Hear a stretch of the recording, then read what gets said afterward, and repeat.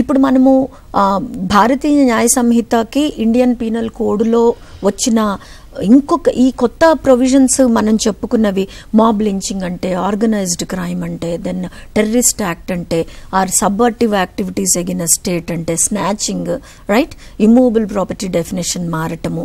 వీటన్నిటితో పాటు జరిగిన ఇంకొక ముఖ్యమైన మార్పు ఏంటంటే అండి మినిమం పనిష్మెంట్ అనేది క్రియేట్ చేయటం. అదే. Minimum punishment. ఇది ఇంతకు ముందు మీరు ఇండియన్ పీనల్ కోడ్లో మీకు మినిమం పనిష్మెంట్ అనేది తర్వాత అమెండ్మెంట్స్లో కొన్ని కొన్ని ప్రొవిజన్స్లో వచ్చినాయి తప్పితే ఇండియా మినిమం ఉండదు.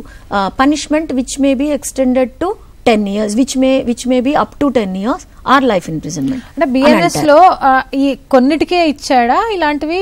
ఇలాంటి మార్పులు అనేవి కొన్ని ప్రొవిజన్స్ కండి కొన్ని ప్రొవిజన్స్కి అన్ని ప్రొవిజన్స్కి ప్రతి సెక్షన్కి ఇంతకంటే తక్కువ వేయటానికి వీల్లేదు అని అనలేం కదా. బేస్డ్ ఆన్ ది అది ఆ సీరియస్నెస్ ఆఫ్ ది ఆఫెన్స్ని బట్టి మనకు ఈ ప్రొవిజన్స్ని యాడ్ చేయడం జరిగింది. ఇప్పుడు చూడండి నేను ఇందాక చెప్పినట్టు టెర్రరిస్ట్ యాక్టివిటీ అనుకోండి. టెర్రరిస్ట్ యాక్ట్ అనేది మొత్తాన్ని అందరినీ భయభ్రాంతుల్ని చేస్తుంది. అసలు స్టేట్ ఇప్పుడు బంగ్లాదేశ్లో ఏం జరుగుతుంది చూస్తున్నారు కదా. మొత్తం అసలు ఎమర్జె అసలు మొత్తము కొలాప్స్ అయిపోయింది.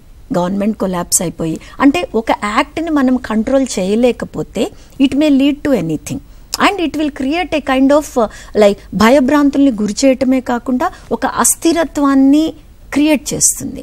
వాళ్ళని శిక్షించాలి ఇగో నువ్వు ఈ ఈ ఈ అఫెన్స్లో కనుక నువ్వు బుక్ అయినా నీకు రేపు అది ప్రూవ్ అయినా ఐదేళ్ళ కంటే తక్కువ కాకుండా నీకు మినిమం ఫైవ్ ఇయర్స్ పడుతుంది నీకు.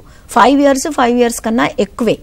నువ్వు ఎయిటీన్ ఇయర్స్ బిలో గర్ల్ మీద లేదంటే ఇప్పుడు ఆర్గనైజ్డ్ క్రైమ్ కూడా చెప్పుకున్నాము నాట్ బిలో వన్ ఇయర్. ఇట్లా కొన్ని కొన్ని ప్రొవిజన్స్కి సీరియస్నెస్ ఉన్న ప్రొవిజన్స్కి అంటే అసలు ఒక సె- ఒక బుక్ అయ్యి ప్రూవ్ అవుట్ అవటం అంటూ జరిగితే మినిమం ఇంత పడుతుంది నీకు శిక్ష అన్నది డెఫినెట్గా భయాన్ని క్రియేట్ చేస్తుంది కదా. ఇట్లా కొన్ని ప్రొవిజన్స్లో మీకు ఈ పెట్టారు